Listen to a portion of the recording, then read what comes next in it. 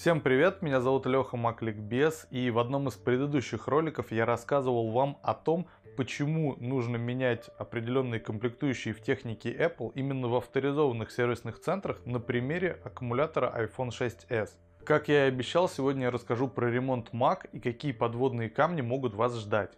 Когда техника выходит из строя, это действительно очень неприятно и никогда не бывает ожидаемо. В случае с компьютерами Mac это еще и ко всему прочему дорогостоящая техника, которая по логике должна быть надежной, но как и все созданное руками человека, она тоже бывает ломается.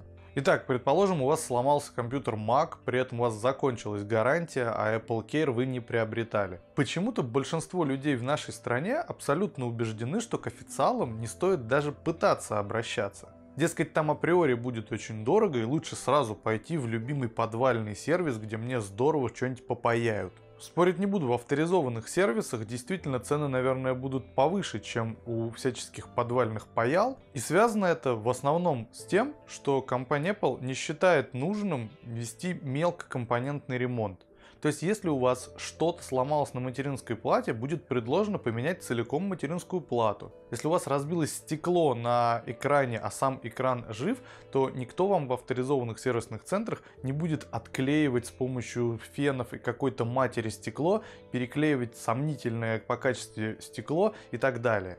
Естественно, существуют ситуации, когда проще и, скорее всего, выгоднее обратиться в какие-то проверенные, но не авторизованные сервисные центры, но доверять бы лично им я не стал. Я прекрасно понимаю, что очень хочется сэкономить и не платить кругленькую сумму официалам, но поверьте моему опыту, что пайка материнских плат еще никогда не приводила ни к чему хорошему. Всяческие эти перепайки чипов, реболы процессоров и графических чипов, это все такая ерунда, которая спасет ваш компьютер буквально на несколько месяцев, и потом вы вновь будете вынуждены обращаться к услугам вот этих пайщиков.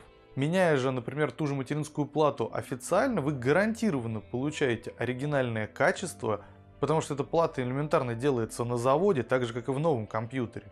И замена такой платы целиком действительно помогает этому компьютеру работать еще много лет, а всяческие пайки лишь убивают эту плату.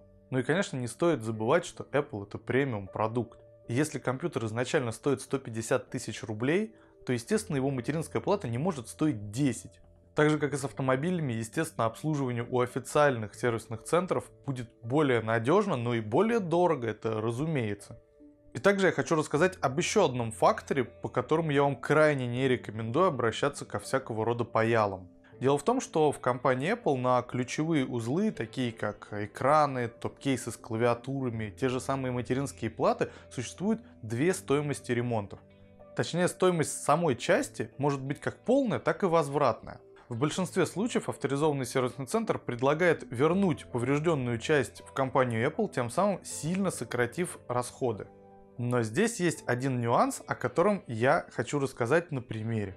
Представьте себе человека, у которого есть MacBook Pro 15 2015 года выпуска в достаточно топовой комплектации. И у него что-то происходит вот с той самой пресловутой материнской платой. Например, компьютер не включается он сразу ошибочно решает, что не нужно идти к официалам и идет к каким-то сомнительным гражданам. Там ему что-то делают с платой, предположим, что ему повезло и ему даже поднимают этот компьютер благодаря тому, что что-то там перепаяли. А ведь это бывает далеко не всегда. Далее он работает какие-то пару месяцев, и у него проявляется та же самая проблема. Он плюет на все и решает все-таки сходить к официалам. В сервисе ему проводят диагностику и приговаривают материнскую плату к замене. Но тут начинается самое интересное. Для этого компьютера замена материнской платы по возвратной стоимости, то есть когда старая плата уйдет в Apple, стоит примерно 30 тысяч рублей плюс-минус. И вы возразите, это реально большие деньги, но этот компьютер даже сейчас, в 2018 году, на вторичном рынке на каких-нибудь Авито выставляется от 100 тысяч рублей. Так что треть стоимости компьютера за целую материнскую плату с процессором, с видеокартой, с оперативной памятью и со всей логикой, это я считаю, что довольно немного. Но суть моего рассказа не в этом, а в том, что сервисники, проводя диагностику, естественно увидели, что эта плата паянная, с ней что-то произошло. И в таких случаях политика компании Apple, что эта материнская плата является модифицированной вследствие несанкционированного ремонта. В данном случае эта плата не может быть отправлена в Apple и сумма не может быть скомпенсирована. Это очень грустно, но сервисный центр в таких ситуациях вынужден предложить только замену этой платы по полной стоимости. А она на секундочку составляет около 90 тысяч рублей. И в таком, конечно же, случае этот ремонт становится нерентабельным.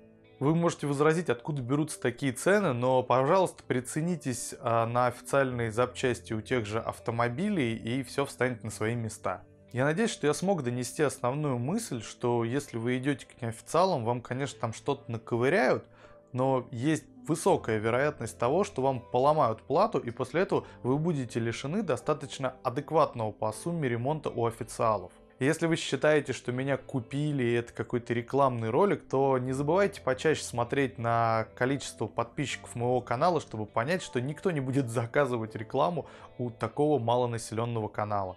Я лишь хочу этим роликом уберечь вас от возможных проблем, которые возникнут с и так неприятной ситуацией выхода из строя компьютера. Надеюсь, что этот ролик вам понравился и показался полезным. Если это так, ставьте палец вверх. Подписывайтесь на канал, если этого еще не сделали. Вступайте в наш паблик ВКонтакте и в наш теплый ламповый чатик в Телеграме. Если хотите, можете поддержать меня материально, все ссылки есть в описании. Всего вам доброго!